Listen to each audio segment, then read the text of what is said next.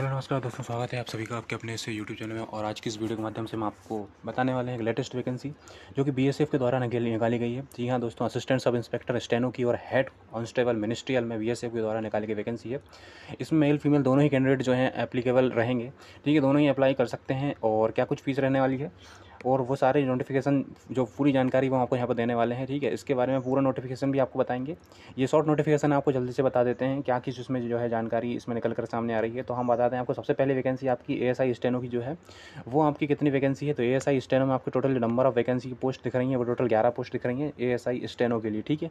S T में ही निकलने वाली है, उसके बाद हेड कॉन्स्टेबल मिनिस्ट्रियल की जिसकी बात करें तो इसमें तीन सौ बारह पोस्ट हैं, तीन सौ बारह पोस्ट में जनरल की एक सौ इक्यावन पोस्ट हैं ई डब्ल्यू एस की इकतालीस पोस्ट हैं, पचासी पोस्ट यहाँ पर आपको देखने को मिलेगी पैंसठ पोस्ट आपको, सॉरी, देखने को मिलेगी आपको ओबीसी में और अड़तीस एससी और एसटी में चौदह, इस तरीके से एक सौ चौवन जनरल में देखने को मिलेगी। तो तीन सौ बयालीस तीन सौ बयालीस, बारह, तीन सौ बारह पोस्टों के लिए यहाँ पर ये नोटिफिकेशन निकाला गया है। एडवर्टाइजमेंट की डेट से तीस दिन के अंदर अंदर ये आपको फिल करना है और बता दें आपको कि ये जो है नोटिफिकेशन आपका आज ही के दिन सत्ताईस से ही निकला हुआ है, ठीक है?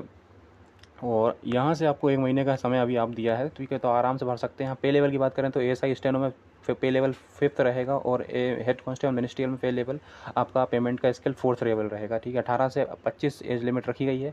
ओबीसी वालों के लिए यहाँ पर तीन साल एज रिलेशन मिल जाएगा और एस टी वालों के लिए पाँच साल का एज रिलेशन मिल जाएगा। तो इस तरीके से अट्ठाईस और तीस साल तक आप अपने एज को अपनी कैटेगरी के हिसाब से समझ सकते हैं। और जनरल वाले के लिए पच्चीस तक ही एज की लिमिट रखी गई है। एजुकेशनल क्वालिफिकेशन की बात करें तो इसमें क्या कुछ एजुकेशनल क्वालिफिकेशन रहने वाली है, वो दिखा दें आपको। इसमें मात्र आपको टेंथ आपको सीनियर सेकेंडरी यानी कि ट्वेल्थ पास सीनियर सेकेंडरी यानी ट्वेल्थ पास आपको होना ज़रूरी है।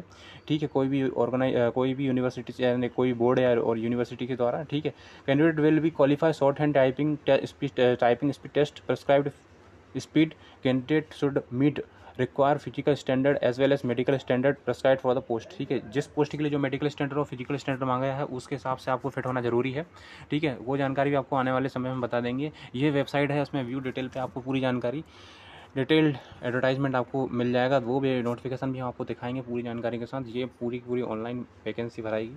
ठीक है, इसका फॉर्म जो है ऑनलाइन रहेगा, कोई भी ऑफलाइन नहीं रहने वाला है। एक महीने का समय यहाँ पर दिया गया है और फ़ीस से संबंधित जानकारी, वो सारी जानकारी, ठीक है, इसमें टाइपिंग आपको तीस पैंतीस की आनी चाहिए। ठीक है, वो हम पूरा फुल डिटेल में आपके लिए लेकर आए हैं, लेकर आने वाले हैं।